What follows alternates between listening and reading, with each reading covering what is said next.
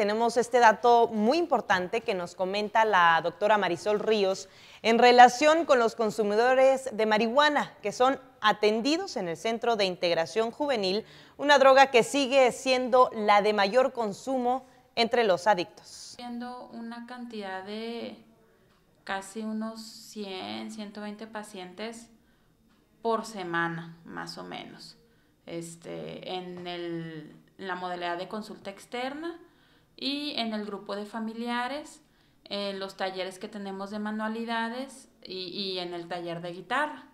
Eh, por lo general el paciente que acude aquí por primera vez a centros de integración este, es un paciente confundido, porque eh, para llegar aquí primero fue al DIF o fue al CISAME o, fue a un, a un, lugar de internamiento eh, y no sabe qué hacer o se está buscando ayuda, ¿no?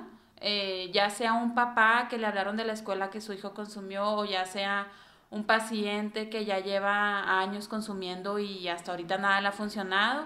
Por lo general llegan aquí confundidos y buscando ayuda. Eso es lo principal. La droga de elección, por supuesto, ahorita es la marihuana, ¿no? Sobre todo en los estudiantes.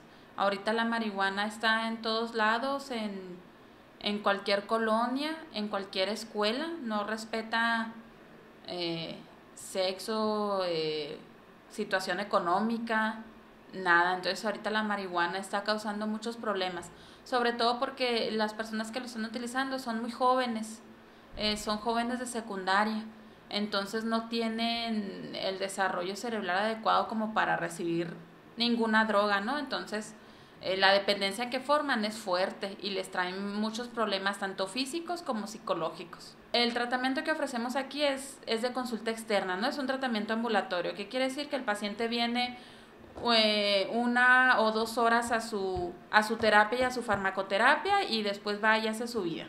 Eh, no todos los pacientes califican para este tratamiento.